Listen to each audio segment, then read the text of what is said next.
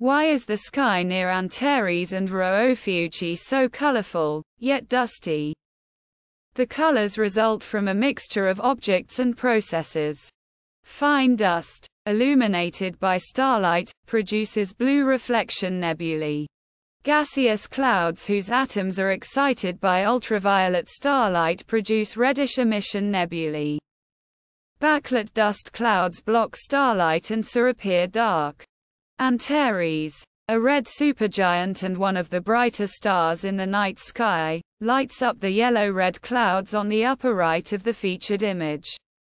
The Rho Ophiuchi star system lies at the center of the Blue Reflection Nebula on the left, while a different reflection nebula, IC 4605, lies just below and right of the image center. These star clouds are even more colorful than humans can see, emitting light across the electromagnetic spectrum.